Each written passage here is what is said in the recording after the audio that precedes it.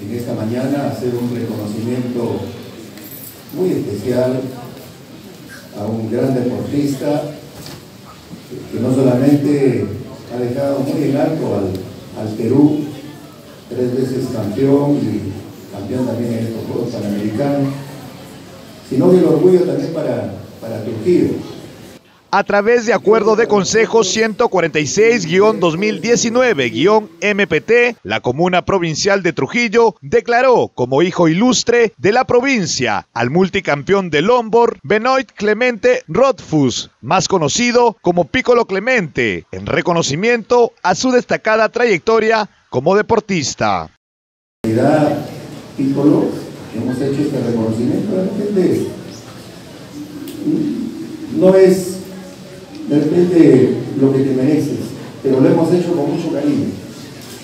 Lo hemos hecho con mucho cariño, reconociendo de tu esfuerzo que has hecho por hacer quedar bien al Perú y a Turquía. Por eso deseamos muchos éxitos en tu carrera deportiva y nosotros como autoridad vamos a seguir trabajando para que el futuro podamos tener muchos deportistas. Piccolo Clemente recibió de manos del alcalde provincial Daniel Marcelo el reconocimiento que lo declara hijo ilustre de Trujillo, la medalla de la ciudad, así como un incentivo económico de 10 mil soles, como un homenaje tras la obtención de la medalla de oro en los Juegos Panamericanos Lima 2019 con muchísima alegría, feliz de poder compartir esto con todos los trujillanos, agradecer a la municipalidad por este gran recibimiento, realmente me llena mucho de motivación y de orgullo. ¿no? El cariño de los niños y los adolescentes. Sí, increíble, realmente feliz de poder ser un referente para la juventud, feliz de ser un referente para, el Perú y agradecido por todo el cariño. Clemente Rofuts nació el 26 de mayo de 1982, es tricampeón mundial de Lombard en los años 2013, 2015 y 2019. Además, en el 2017 recibió los laureles deportivos en el grado de gran oficial.